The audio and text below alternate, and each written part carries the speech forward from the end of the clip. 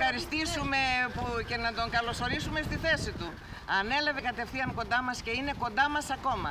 Έρχεται κάθε μέρα, έχει βάλει όλη την προσοχή. Ο κύριος εδώ. Κυριακόπουλος. Ο κύριος Κυριακόπουλος και τον ευχαριστούμε. Και τη Χρυσή Αυγή. Τα παιδιά της Χρυσής Αυγής που στάθηκαν κοντά μας, Όλοι τους παιδιά ήρεμα μας. και ήσυχα, χωρίς καμία φασαρία. Μας είπανε είμαστε κοντά σας. Ανά πάσα στιγμή ό,τι θέλετε είμαστε εδώ. Όλους τους ευχαριστούμε. Αυτή τη στιγμή σήμερα, αυτό που γίνεται μετά από τόσα χρόνια που περάσαμε, δεν το πιστεύουμε ότι σήμερα φτάσαμε μετά ο αγώνας μας να δικαιωθεί σήμερα. Βλέπετε σε τι κατάσταση ζούμε και τι περάσαμε. Δεν μας έχουν αφήσει τίποτα, έχουν κατακλέψει τα, τα γύρω σπίτια.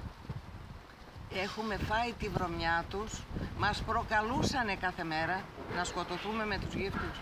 Ελπίζω από εδώ και πέρα σε ένα τέτοιο ωραίο έργο που έγινε για τη, γε- τη γέφυρα να γίνει ο τόπος αυτός κάτω ωραίος, να το χαιρόμαστε. Ωραία. Να είστε καλά.